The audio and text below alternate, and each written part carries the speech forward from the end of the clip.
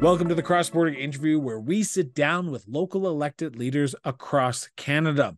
Throughout this episode, we will be learning about who our guest is, what drives them, and how they are working to make their community a better place for everyone. In today's episode, we are honored to chat with City of Barrie, Ontario Councillor Sergio Morales.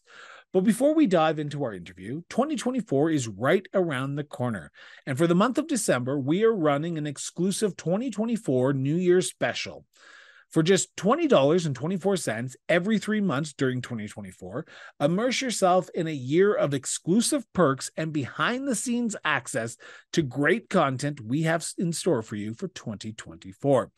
So be ready to be part of the national conversation around municipalities and experience the magic of cross border interviews.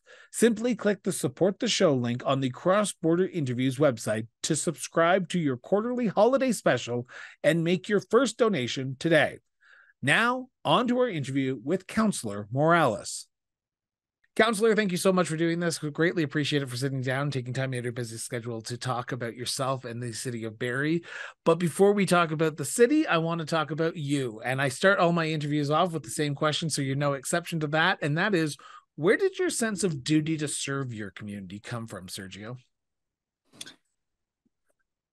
Some people dreamed about playing in the NHL. Some people dreamed of, you know, uh, I don't know, going Formula One, NASCAR. I dreamt of public service, and I can come up with a story that like I was inspired by individual. It was just something that I was always drawn to when I was younger, specifically in elementary school, and it was something that I kind of just expected of myself.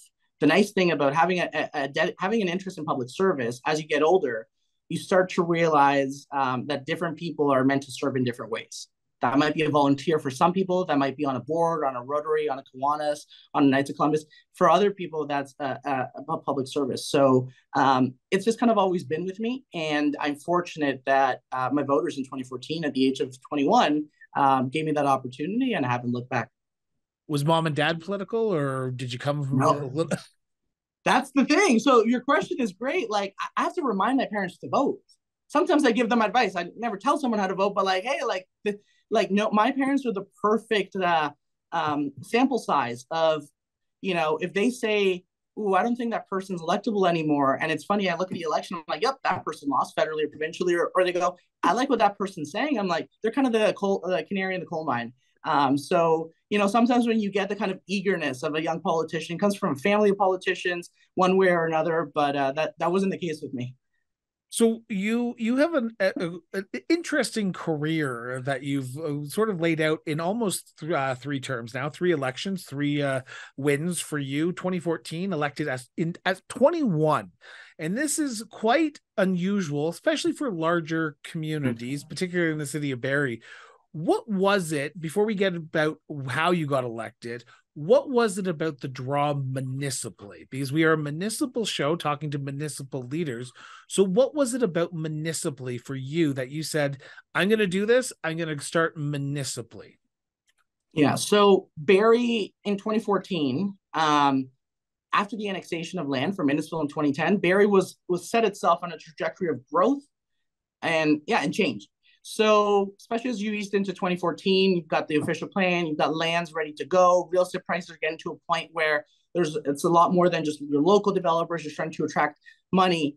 Um, Barrie was poised to see uh, transformative growth over the next 20 years, meaning, and the area that I ran in specifically, the ward I, I, rep, I represent now, that I didn't live in at the time, um, was poised to be unrecognizable um, based on that development. So uh, the I also looked at the council uh, just before that, and it had young councilors. Uh, our current mayor, uh, who just turned like 38, I think at the time he was finishing his council term, he was going to run to be an MP in 2015, so he didn't run again.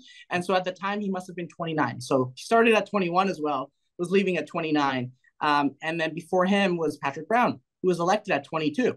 Um, and and then we also had another councilor who was elected in the downtown ward. We're not talking a new suburban ward, the downtown, which is usually very competitive. You get a lot of like, so and so has been around the community for 30 years.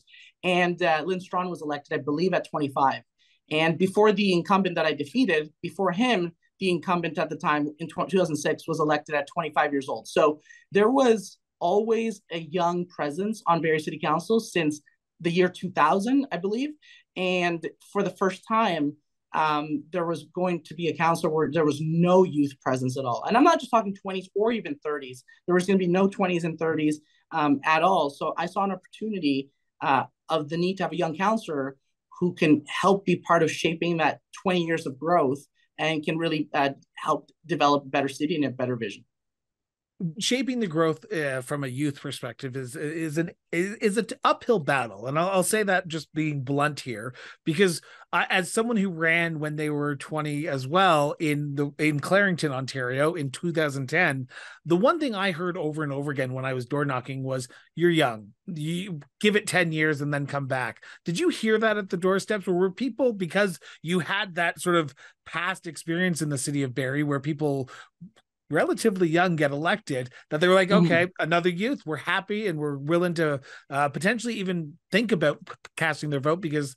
hypothetically they don't have to cast their vote if they talk to you absolutely absolutely so yes so to answer your question yes i was very fortunate by the pioneers that came before me who made it who made the reality of i just opened my door and some 20 young 20 year old wants to run for council represent me um, to them that was normal. Whether it was their own previous counselor again the the, the one in 2006 at 25 in my district or other wards or especially patrick brown and the current mayor alex Nuttall, they definitely made a, a, a big impact on that. They broke that ceiling per se so it was a lot easier for me. So now the it was within the realm of possibility for them to think of having a 21 counselor. So that made it easier. However i very much had to earn it in the sense of i was lucky i never heard the you're too young uh, I heard a lot of, "Are you sure you want to do this?" Kind of that. It was that cautionary older parent, almost like, "You sure you want to do this, kid?" Because uh, you know it's not everything. You know, because I had this, like, and I still have it. I have this hope in my eyes. Very talkative. I talk a million miles an hour, and so they're like, I remember one person saying like, "It might grind you down. It might take away that that that spirit that you have." And I'm like, "No, I know what I'm getting myself into." And I would make a joke, and I'm like, "Listen, if I lose the spirit, you can vote me out next time." So uh, it went well. So I got a lot of cautionary tales. The one thing that I would get a lot of comments, Chris, and this is really funny, I would get a lot, probably like multiple dozens of people would say, I love your ideas. I love about investing in infrastructure at the same time as growth. I love about not just growing up or growing up. I love about the kind of some of your common sense solutions. So I love the ideas. When do I get to meet Sergio? And I'm like, I, I am Sergio. So picture me now. I'm 30. They thought you were a scrutineer. So I'm 30 right now, and I look like probably not that young anymore, but I still look younger than 30. When I was 21, I looked 16 years old. I'm not. I'm not exaggerating. Um, so when you when when you're a, an adult, when you're at the, your doors, and this person who looks 16 years old is very passionate, it's going off. A lot of people thought it was yeah uh, volunteering for Sergio the candidate. So it was so awkward every time I had to say I am Sergio and some would turn red. Some would say, oh my gosh, now you definitely have my vote. I'm embarrassed. And some would be like, I'm so sorry. I thought you were a high school volunteer. So that was the only issue that I had with my age was the visibility of my youth specifically in my face in terms of my ideas um, or or people were very accepting of the idea the energy um, i never i was i was waiting for the classic like okay you want to run for council you don't have the life experience you don't pay property taxes at the time uh, how can you make decisions for, for me about my property taxes and these decisions when you yourself don't have these challenges or the experience? I didn't get that question a lot. And I think it's because uh, people in Barrie, at least in that area of town, aren't asking you, you know, where's your 30 year service and who was your grandpa uh, and what family last name do you have? They're more like, what do you have to offer now? What do you have to offer me uh, for the vision? What did you have to offer? So you talk about the youth perspective, and and I think it's an important aspect that a lot of people forget that we do need more young people to get involved. But looking back on that 2014 election, what was that one thing that you offered to residents where they were able to say, okay, we may not fully agree with 100% of things mm. that Sergio says, but he he has given us an indication of where he wants to see Ward 9 and the city of Barrie move forward 10, 20 years from now. Perfect. So when I say the youth perspective, I mean it, it I didn't run on being the young candidate. I actually I remember a reporter telling me, "Hey, you're young. There's a, there's a 19 year old running for mayor, and there's a 23 year running against someone who's now the MP." I had no chance. Um, I want to do a story about young people running, and I told the reporter, "No."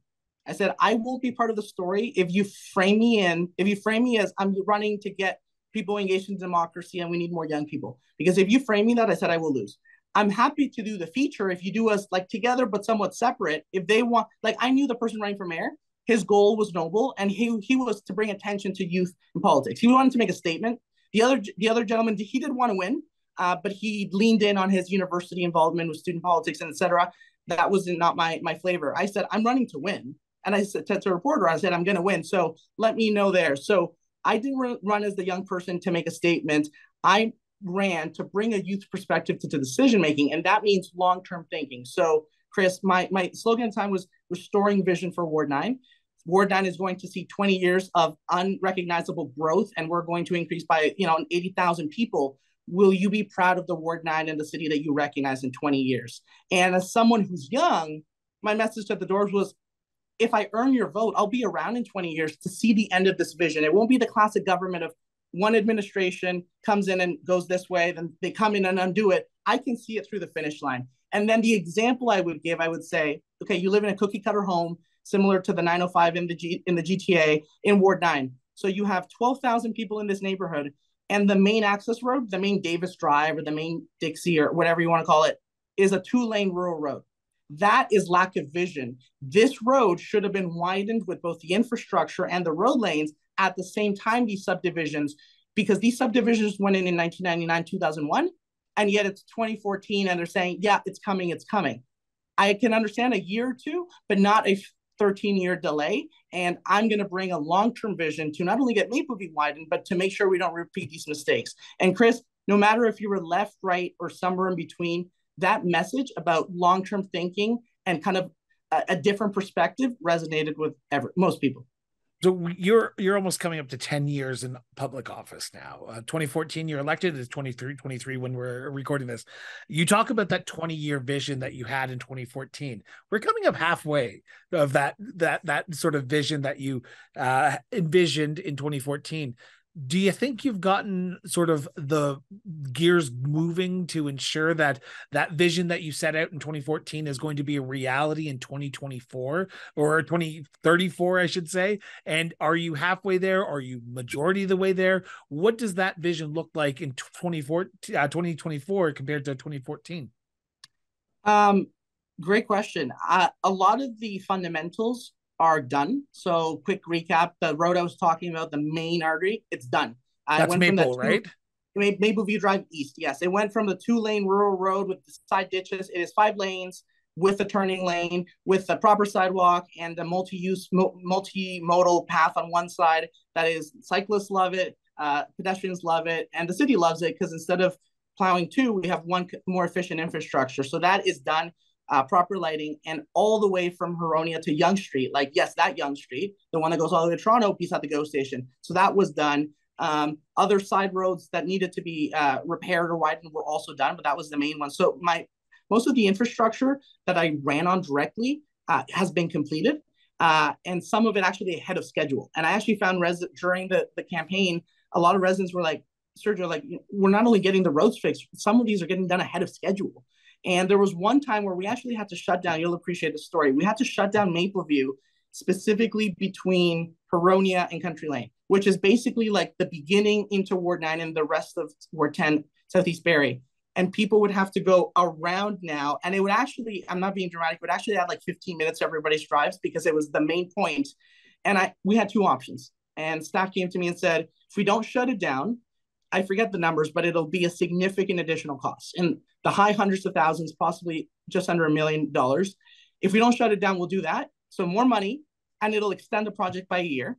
But if we shut it down for December, the worst time you can shut down a road, if we shut down in December for about three, four weeks, we will save all those hundreds of thousands of dollars and we won't fall behind a year. And they said, You probably want to not shut it down, right? And I said, I was elected to do the right thing, not what's popular. I was elected to do what is the right thing to do. So instead of just saying go with the shutdown and uh, you know I'm going to put my my email on vacation mode, um, what I did was I contacted local radio station. I have a good relationship uh, with the morning show there, and I said I want to get ahead of this. I want to put my face to the issue. I want to own the issue. So Tara had me on the show, and I said, listen, most politicians run away when there's inconveniences or something like this. I want to own it. I want to tell residents that these are our options, and I want to tell them that I've made the decision to go this way. It's not popular, but I want to go here on radio and, and take it on the chin and at least let you guys know what's going on. I did really good a job of getting it on social media.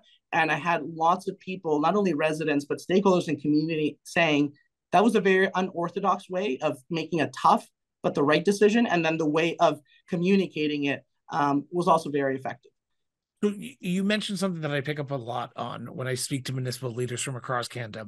Doing the right thing and doing the tough thing and doing the right thing and doing the popular thing is often uh, at loggerheads when you have to make a decision because you have to look at every individual issue as uh, what is going to be best for the general public not just for the here and now but for the general public.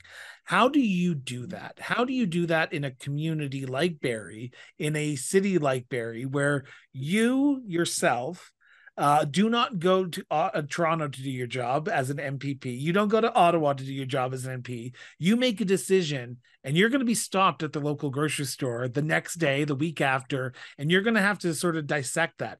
How do you make the right decision when sometimes it means going against the popular opinion on social media? the way you do that, Chris, is something you said earlier you gain people's trust. And I don't, I don't, I don't want to give you the the the, the hallmark uh, uh, uh, generic answer. Here's what I mean by that. If you earn people's trust right away, meaning 2014, you hit the ground running, you earn it with that radio feature that I did. If you earn people's trust at the beginning, uh, tr- you can lose trust after 10 years, but if you know if you don't gain trust at the beginning, it's hard to get it after. So if you gain people's trust, what people will say when they see an unpopular decision is they'll say, "Listen, I really don't agree with Sergio on this idea. I think he's wrong. I just think he's wrong. I think we should. I think we should ban bonfires in backyards, which I'm against. Um, I think uh, I should be able to keep parking my car on a five-lane busy road. No, we needed to go to no parking if you got your road widened. I'm sorry, it doesn't matter that you bought 20 years ago and life changed. That's that's the social contract of living in a city. Um, but when I'm clear, when I give them an honest moment of my time, and I'm not sarcastic or dismissive, but I give them a clear explanation, they can hang up the phone or finish reading the email and go, I don't agree with his decision on this one issue, but he has earned my trust in general. And so I know that on on average, on 100 decisions, I trust that, and they're too busy to watch council and pay attention to 100. They might read here and there in the paper. They trust me enough to give me their vote and to earn the, the right to represent them as a counselor in general. And I've got people who, after a 40 minute discussion or 15 minute discussion, they said, I don't agree with you on this, but I still respect you and you still will always have my vote because you maintain my trust. So to answer your question, trust is the most effective way in order for a politician to have the political um, uh, runway and the political um, uh, uh, ability to make those unpopular decisions you use the word respect in that last statement. I want to pick up on that because I think that's another key aspect that municipal councilors have to deal with because you have to go out and talk to everyone, not just the people who agree with you, not your echo chamber on social media, but everyone, even the ones who vehemently disagree with you, but you have to do it in a respectful way and they yeah. have to do it in a respectful way because I can imagine you have heard the curse words, the the name calling that probably comes with the job, but you have to respect people to give you your time because you're their elected official. How much does respect come into play when dealing with the public to make sure that if you're at the grocery store and they stop you, well, guess what? That milk run is not going to be 10 minutes, it's going to be a half hour. You know what? It's, um, I have rarely heard the curse words or like the overly aggressive personal from Ward 9 residents you hear it a lot on the online trolls who don't live in the world exactly. So the, the non-real world you hear it all the time. And specifically like what's hilarious is the far left people in barrie think i'm this like big evil conservative that was like mentored by patrick brown. And some of the more right-wing people in town think i'm this like liberal that like isn't very like adherently conservative. So um, the joke is that if they if the far corners of, of, of, the political spectrum think I'm either evil or not making the right decision, then I'm probably in the right area for municipal politics. I'm thinking common sense and I'm not giving blind ideology to any one issue. Um, so, anyways, as a result, online is different. Everything you said exists. And listen, if they don't have respect, I, I don't respect them. It's a, it's that simple. They don't earn that respect. Um, uh, they they're they're still entitled to a response and uh, a clear no but they're going to get their solid answer because it's the wrong thing or the right thing to do. With residents, I haven't found that they like there's been a couple at the doors or randomly, but a lot of people, maybe unfortunate, are still maybe non-confrontational with their municipal councilor. Like if they get to, if I get to their door I'm in their space, maybe their kids in the hallway. uh, or the impression. So I don't get a lot of that. Like door slams, like this past campaign, maybe two, like two, and I know and I unlocked all the doors myself and did wow. a second round of volunteers. So those are really good numbers. Uh, there were some that people like I can see in their face that they were not impressed, like, oh, it's you, but they were polite enough. So that social contract I think still exists. And going back to your point about respect, when you give people, a, a, when I get to a door and I see that they're kind of disagreeing with me, either on an issue or just in me in general, I say, listen, I came to your door unsolicited, so I appreciate it. I know it's not the answer you wanted to hear, but if you give me an honest moment of your time, I'll give you an honest moment of mine the role of municipal governments has changed a lot over the last 10 years. When I first put my name forward in 2010, the role of municipal government was very cut and dry. But I, I, truly don't believe that the average resident understands the jurisdictional roles, like probably you and I do, that the municipality plays compared to the other levels of government. How often do you hear from residents on issues that do not pertain or are not even in the jurisdictional purview of the municipality? Are people talking to you about provincial issues, federal issues? And when you do hear those issues, what is your uh, response? Because you can't just brush people off because you have to respectfully give them your time to answer the questions that they have. I, think i have two answers to that. When i started the job i wanted to fix everybody's issues. I wanted to clean up their garage and change their oil. And you quickly realize if you want to if you want to not burn out emotionally it's not just time wise if you don't want to burn out and, and become disenfranchised disenchanted by the job that you wanted to bring a vision and you had this energy of people going yeah we'll vote for someone who looks 16 because he's inspired me. Um, if you don't want to lose that you have to kind of like set expectations for yourself. So at the beginning to answer your question what i would do is even if it was a provincial federal issue i would um, like call directly the mp or mpp and i wouldn't take their i wouldn't take the constit staffer. I would go to them i'd book a meeting i'd call and make sure I got the phone call. Uh, I, I'd even research it myself, and I realized I, in order to be the most effective municipal councilor I can be, I need to know my limitations. And it's not like, oh, that's not my department or not my jurisdiction. Uh, it's not about being dismissive, but it's about being able to preserve, preserve and set boundaries for myself to be more effective. So what I've done now and, and kind of maybe made that change, I would say around 2017, is I will respond, call or phone and let them know, listen, that's not the jurisdiction. But then I would have, instead of just saying, call this person, here's a number, have a nice day, I would say, here's my advice of what you can do on this. You could approach this person, you could approach, I don't know, the property manager, and then go to the to the uh, political side and make an appointment with the constit uh, manager. And if you need a, a letter of reference or if you want a soft introduction so you get a little bit warmer response, I'm happy to do that. So even as recently as a month ago, I got a, a citizenship question. Well, we don't do citizenship. And he was when I said go to the MP's office, his instinct, and it wasn't about the local MP. His his his his understanding of government in general was just like, oh, I'll I'll just get bogged in the system. I said, how's this? Call them and tell. And I said the person's name. Tell them Sergio referred you. And if you really want, email them and CC me an email. You'd be surprised how quickly I'm going to do absolutely nothing. But if that go, and then people feel like you're not just brushing them off, they feel like you're empowering them to get an answer. Um, I have one last question on this area, and then I want to turn to the city as a whole, and I want to talk about apathy because I I believe, and this is me saying this, not the counselor. This is Chris saying this, uh, the host of the show. I think there's a true apathy when in this country when it comes to municipal politics. I, I I don't see the active participation that we see provincially or even federally because traditionally they're partisan. Now I've done a little bit of research on you, and you pride yourself on being an independent thinker and an independent sort of voice on council how do you ensure that the apathy that we are seeing across Canada and maybe not in Barrie as much as other places, but how do you ensure that everyone feels like they have a voice and everyone is being heard when sometimes people just don't want to talk to their counselor or mayor because as long as my water is turned on and my garbage is picked up, I'm happier than a pig on uh, feed day. What do you do in that situation when people just don't want to give you their opinion? They're just are comfortable with, with the way things are. So there's two ways to to reduce that apathy because there's two different people who are apathetic. One is what's the point on on on on on giving feedback or giving opposition to City Hall? You can't beat City Hall. So there's that one.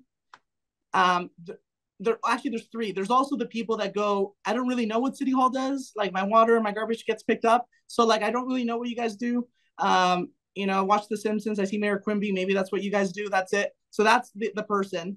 And then the third one is um, I'm so happy, and my my thing things that are priority to me are getting done, and they're maybe a little more educated to go. I know that you guys, you know, I think I don't know who said it. Uh, the feds have all the money, the province has all the power, and we have all the problems. So I know you guys don't have a lot of ways to make change. I'm just happy you take care of the municipal services, and uh, otherwise, I'm disengaged because things are getting done. So the way to approach those different people is the person who thinks they can't beat City Hall is you show them that you care.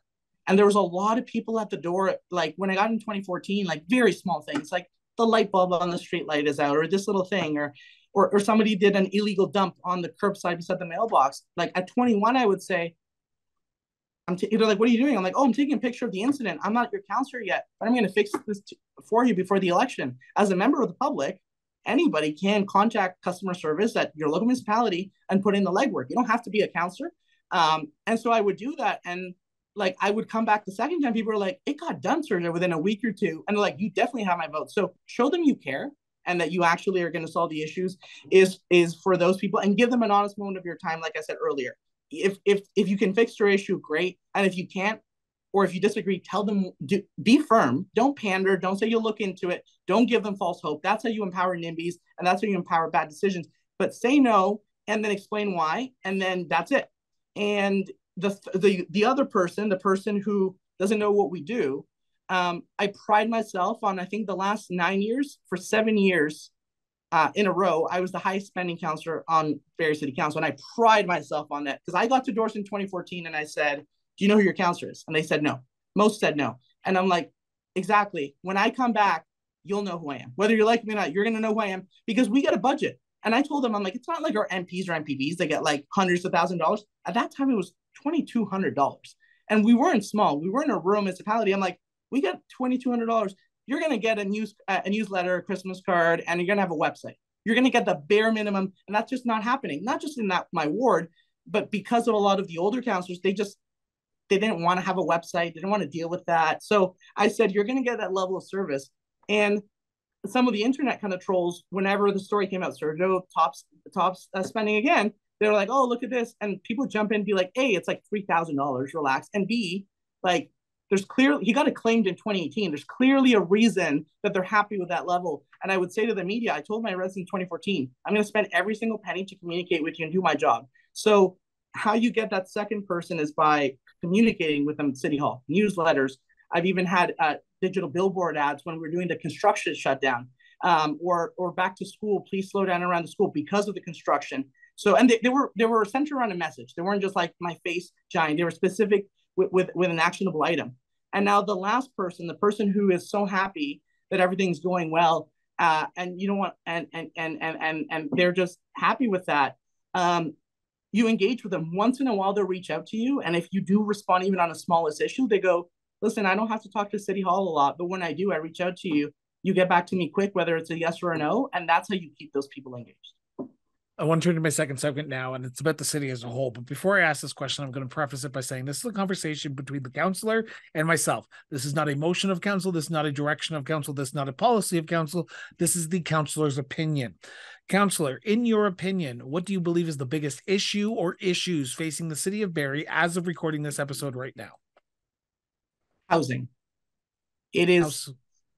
housing. We need more housing. Uh, where we we we we have reached a situation not just in Barrie but in, in southern Ontario and in, in other places in, around the country that um, you know go to school, get a good education, technical or academic, get a good job, work your nine to five, save some money, and you don't have to live a fancy life, but you'll be able to afford to buy a decent house. Doesn't have to be fancy. You'll be able to save money. That's gone. And here's the thing we're not talking about the 80s or 70s. Like, Chris, we're talking about like when you ran in most of Southern Ontario, houses could still be bought between 240 to let's call it 550 on the upper end. And now that 220 house in Barrie is 850, 900. And I'm not even talking about the Southern GTA. Um, that's not acceptable. And people are losing hope. And that's why you see what you see at the federal level and provincial level. That's why you see a bit of the changes in housing policy. So the biggest challenge we're facing is up until recently, up until about a year ago, Barrie was in the top five, specifically hovering around number two and number three of most expensive places to rent for a one or for a two bedroom, one of those categories, uh, in national surveys consistently for seven years because Barrie has been historically anti density. And this is not acceptable. And I think we're getting to a place between the work Dr. Mike Moffatt has made, advocacy around the province, and many, many other people that I won't be able to list everybody, where the pol- the municipal politics of appe- appeasing to NIMBY desires of just nope, I don't want any housing. I don't care if it's a building, a townhouse, nothing. I don't want anything. I moved here in 1975. This is what I bought into. That's not how it works anymore. And uh, I'm really glad to see, not just locally, but uh, provincially and hopefully nationally, that the political uh, winds are changing and we're going to be getting more housing built. So housing comes with a cost though, because you I'm assuming after 10 years, you will probably know that to build housing, you need infrastructure. And infrastructure is not cheap these days. And before any developer even looks at an area, they want to know that there's going to be the proper infrastructure that they will not have to fully uh, pay for. So how do you balance the need, the understanding that housing is needed, but you need to invest right now and right now there's an affordability crisis that is tackling a lot of the country well the majority of the country if not all of the country right now and that means you have to mm-hmm. potentially look at reallocating service levels or reallocating money to ensure that infrastructure gets built so that way you can build housing. Perfect. I'm gonna you said your hometown was Clarington right? Yeah. I'm gonna use Clarington kind of an example because it'll make a lot of sense. So how there's a cost that comes with more housing so uh-huh. you one, I could make the argument. I'm going to go on the other side for a second. Uh, um, you know what? We may need more housing, but we can't do it at the expense of existing taxpayers and people who contribute to this community. Um, it would be unfairly and unjustly adding a multi-hundred million dollar bills uh, in perpetuity that our grandchildren would be paying uh, for residents who haven't even been here. And so we need to be smart about it and go to go do studies at committees for 10 years. That is the NIMBY argument. The reality of somewhere like Clarington is housing uh, growth doesn't usually pay for growth. Only when we're talking about suburban uh, sprawl. When we're talking about track housing this argument stands. So what i approach in ward 9 or i'm going to stay on the example of clarington so yes maybe the city uh, doing 1.5 kilometers of water pipes natural gas and infrastructure and roads is very unpalatable and not and and should be voted down. But that's if we're approving cookie cutter subdivision of singles and semis if you mix in singles, and they're still a part of the equation, by the way, to get rid of cul-de-sacs, they, they need to be gone. But if you keep some singles in there, row homes, um, um, as well as semis, back to backs, stacked townhouses, and now all of a sudden, if gets, if it's just normal that on a somewhat arterial road, you just by default, as of right, approve six-story buildings because it's on the Ontario Building Code out of wood. Now that developers pro forma goes, I'm not just fitting in 12 townhouses here on this land. I can throw up uh, uh, 70 units. And now the math works. Now we get more housing for Clarington, and now we get a more fiscally responsible um, infrastructure investment into growth. So growth doesn't pay for growth when it's the wrong time type of growth, and we need to push back on NIMBY forces in order to show how we need uh, better built forms, better densities and varieties in order to get to the end goal you see that the people of Barrie are willing to have that discussion? Because you talk about the NIMBYism, and the NIMBYism are the loud ones, right? The NIMBYism, uh, no matter where you go in this country, NIMBYism is always the loudest bunch of people in the, the community. Do you do you get a feeling that people of Barrie are looking for change, looking for this type of diversification of housing? Um, Chris, in my campaign literature in 2012, 2022, running against three, three opponents who all lived um, in the ward grew up like the two young uh, candidates. One was 21 at the time, one was 33. So, fun fact Ward 9 loves young people. Uh, so, they grew up in the neighborhood. So, they were the 20 year experience. Uh, and the uh, the older gentleman, um, uh, or not 20s, uh, he also had 20 years of living in the neighborhood.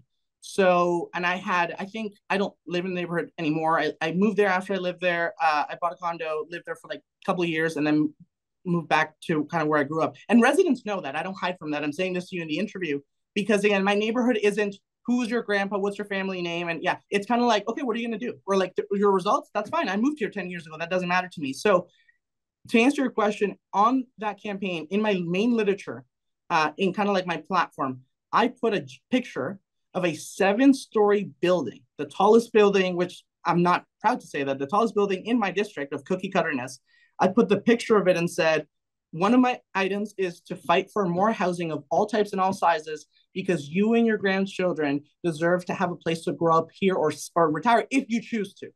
I did not hide from it. I didn't say only appropriate growth. I said all types of build. I said cut red tape, hire more planners, stand up to overzealous uh, NIMBY groups, essentially special interest groups, and overzealous counselors, because I said if you, you, your grandchildren shouldn't have to move, and this is a line I'm borrowing from Dr. Mike Moffatt, they shouldn't have to move away to Northern Ontario because they can't afford, you know, let's say you're somebody in your 60s and you have grandkids because your kids can't afford to stay locally, you'll never see your grandchildren. So that argument resonates well. And I kind of borrowed that. And I said, your grand your children deserve to raise their families here the way you raise them if they choose to. And you as a retiring senior, you should have the right to be able to downsize in your community if you want to stay here. So it's all about option.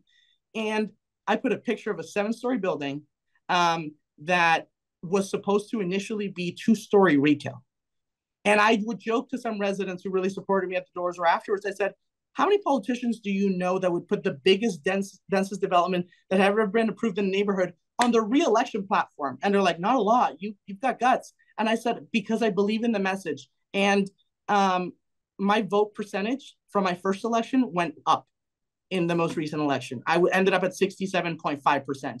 Um, and there was no clear second person. It wasn't like, okay, it was you and far behind it was one alternative. It was evenly spread among the other three. And I had, you know, this kind of like a sports stat. You can make a stat about anything, but out of the number of people who took the time to vote in my district and all the districts in, in Barrie, you know, I looked at the number, how many people took the time to vote and went, I'm voting against the incumbent, like in all the words not as a percentage because they're all different sizes of wards, but as a magnitude, I had the least number of people vote against me out of any district in the city. And I put here's a giant building beside your cookie cutter subdivision. So I think the Overton window is changing, Chris. I think people are realizing um, that we need more housing and that outdated uh, philosophies of using city hall to stop needed housing is gone. And what I try to work with people on, I'm like, okay, listen, the density is going to happen but you have concerns about snow storage, let's work on that. You have concerns about the street light or the internal lights on the surface parking lot being too bright and shining up to your house.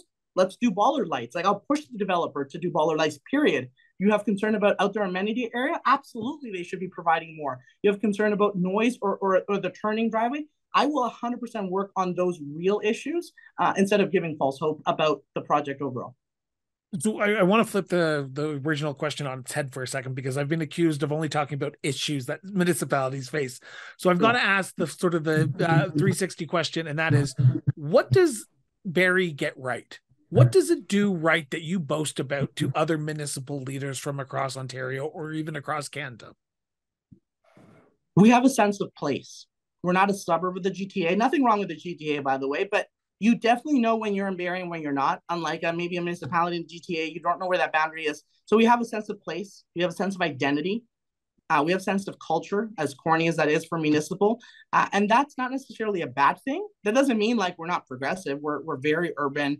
Um, uh, we've got a good art scene. We've got a, we're starting to get a good restaurant scene. Um, but because we know who we are, we don't forget where we kind of came from in the sense of of a city of 100 probably 70,000 now you run into the person in the grocery store and you get recognized by two, three people and you stop. And even if you're not a counselor, you have this conversation. You run into Billy at the bank and say, How's grandma? So that is something that you usually only find in places that are under 30,000. Like you might still find it in Orillia, You're going to find it in, in like Leamington. You're probably, but you usually don't find it once you get above 130.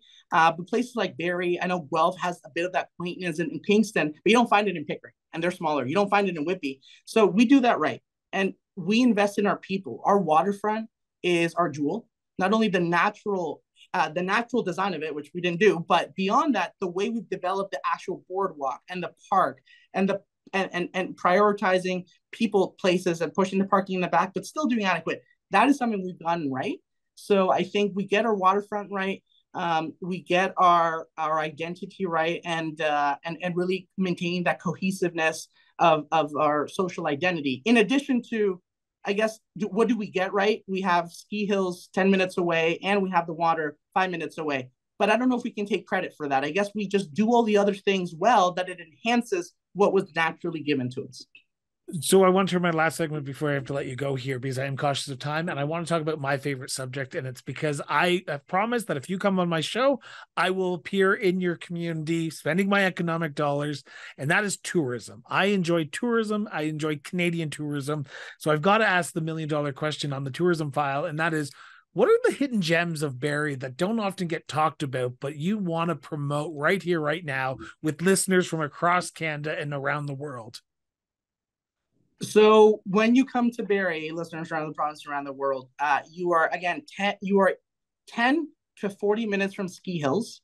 10 if you don't mind if you're not picky 40 minutes if you want a, uh, a little bit of the best that ontario has to offer you're five minutes from the waterfront you can water ski you can paddle board you can you are on the way to cottage country but still uh, you know 15 minutes without traffic to vaughan um, and you can hop on the GO train if you choose to stay here and go watch a Jays game and then hop back on the GO train uh, without kind of being part of the city. Uh, we have Ardagh, Ardagh Bluffs, we have Sunnidale Park, we have Minet's Point, which is kind of like a, a lookout beach on the water, but it's not a lookout because it's on the water, but it's kind of the, the place maybe at dusk that you go to uh, with your kids, your significant other, uh, and we have festivals going on every week, uh, whether it be Kempenfest or it be uh, some some other festivals that are happening. Uh, so far, so we shut down our main strip in the downtown open air Dunlop and and pedestrianize it for on the weekends, which is provides that kind of COVID experience that most people grew accustomed to around the province, um, as well as some specific hidden gems that I'll tell you when you visit.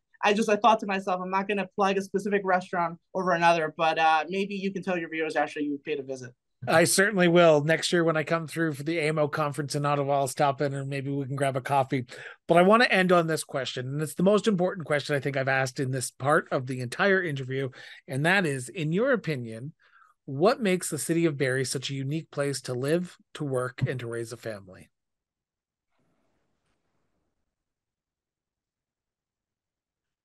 It's that sense of identity. And you know i recently answered that question so it's going to seem like a bit of a repeat but i'll try to i'll try to expand. It's that sense of identity and sense of place that you don't get in other places.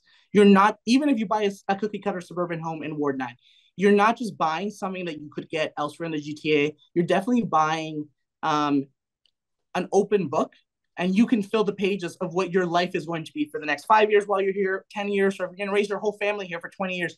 You can write the pages and the narrative in that book.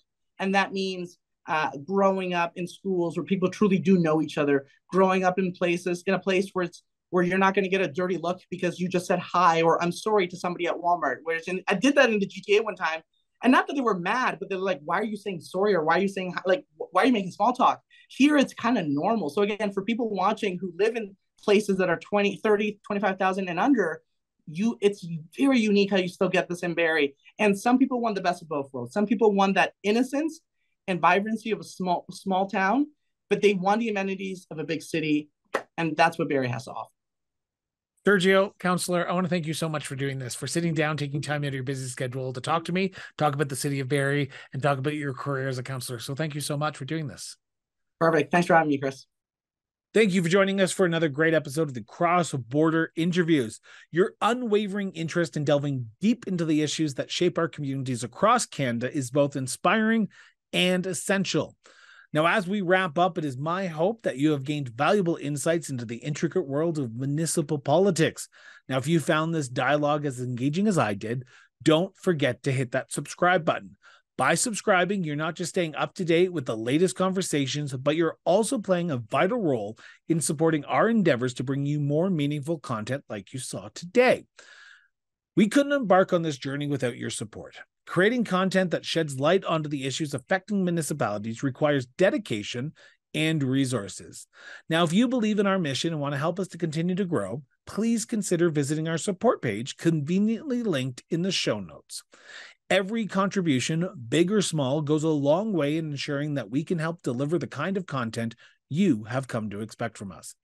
Now, we're thrilled that local leaders from coast to coast to coast in Canada are coming on the show to share their story with us, each with their own unique perspectives and experiences.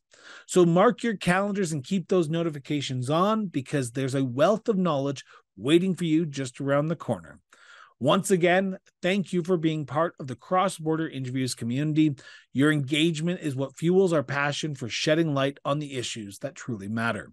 Until next time, stay informed, stay engaged, and most importantly, just keep talking.